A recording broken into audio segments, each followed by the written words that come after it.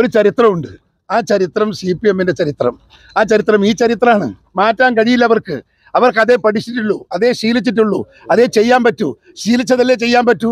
അതുകൊണ്ട് ഒരിക്കലും അവരിൽ നിന്ന് ഒരു ജനാധിപത്യപരമായ പെരുമാറ്റം ഈ കേരള രാഷ്ട്രീയത്തിൽ ഞങ്ങൾ പ്രതീക്ഷിക്കുന്നില്ല.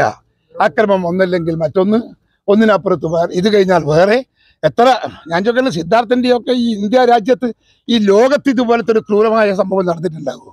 ഇത്രയും ഭീകരമായ സംഭവം? ഈ സംഭവം നടന്നിട്ട് ഒരു ഖേദം ഉള്ളിൽ തെറ്റി പ്രകടിപ്പിക്കാൻ ഇടതുപക്ഷ സർക്കാരിന്റെ ഏതെങ്കിലും ഒരു മന്ത്രി ഏതെങ്കിലും ഒരു എം എൽ എ ഏതെങ്കിലും ഒരു എം പി തയ്യാറായിട്ടുണ്ടോ? ഞങ്ങളാണെങ്കിൽ നൂറ് എം എൽ എമാർ മാപ്പ് പറഞ്ഞിട്ടുണ്ടാകും ആ തെറ്റിന്. ശേഷി ശേഷിക്കരാ ചെയ്തെങ്കിൽ ഞങ്ങൾ നൂറുകണക്കിന് നേതാക്കന്മാർ മാപ്പ് പറഞ്ഞിട്ടുണ്ടാകും. പക്ഷേ സി പി എമ്മിന്റെ അകത്ത് ഒരാൾ പറയാൻ പോട്ടെ. അവരെ പേരിൽ കർശനമായ നടപടിയെടുത്ത് പാർട്ടിയിൽ നിന്ന് പുറത്താക്കി ഒരു ഒരു ഒരു മോഡൽ കാണിക്കാനെങ്കിലും അവർക്ക് സാധിച്ചു. സാധിക്കില്ല. കാരണം പഠിച്ചതേ പാടൂ. അവർ പഠിച്ചത് ഇതാണ്. അതേ അവർക്ക് പാടാൻ സാധിക്കൂ. അവരിൽ നിന്ന് വേറെ ഒന്നും ഞങ്ങൾ പ്രതീക്ഷിക്കുന്നില്ല. ഓക്കെ? ആ കേസ്. അത് ഞങ്ങൾ പ്രഷർ ചെയ്തിട്ടല്ലേ? അവിടെ ഞങ്ങൾ സമരം തുറന്നിട്ടല്ലേ അവിടെ ഭീകരമായ സമരം നടന്നില്ലേ? ആ സമരത്തിന്റെ മുമ്പിൽ മുട്ടുമടക്കിയതല്ലേ?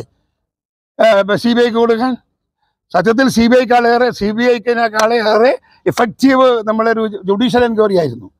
അതായിരുന്നു വേണ്ടിയിരുന്നത്. കാരണം സി ബി ഐ സ്വാധീനിക്കപ്പെടാൻ സാധിക്കുന്ന ഒരു ഫോഴ്സാ ഷമാ മുഹമ്മദ് ആ. പറഞ്ഞല്ലോ, വനിതകൾക്ക് വനിതകൾക്ക് പ്രാതിനിധ്യം. പ്രാതിനിധ്യം അതൊക്കെ അവരോട് ചോദിച്ചാൽ മതി. അതൊക്കെ അവരോട് ചോദിച്ചാൽ മതി. അവരൊന്നും പാർട്ടിയിൽ ആരുമല്ല.